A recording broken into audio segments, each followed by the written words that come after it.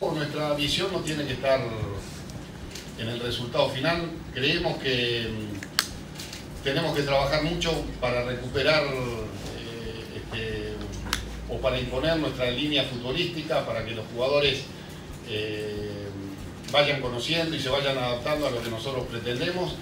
Y eso, como dije al principio, nos va a llevar, nos va a llevar tiempo, hay que tener paciencia, hay que ser consciente del lugar donde, donde estamos, del último, eh, de la última etapa que ha vivido eh, futbolísticamente el, club, sin perder de, vista que representamos a, San Lorenzo, que las exigencias que conllevan representar a esta institución siempre son las máximas.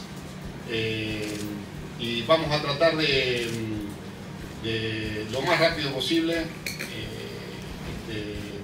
mostrar, enseñarle eh, a los jugadores lo que pretendemos y a partir de ahí tratar de tener buenos resultados. Pero eh, no, no, es momento, me parece este, eh, el evaluar lo que nosotros proponemos por el resultado o por la exigencia de ganar el torneo que compitamos. El tema de la participación de la Copa Libertadores para cualquier entrenador es motivante. Eh, creemos que el cariño que recibimos acá es difícil de igualar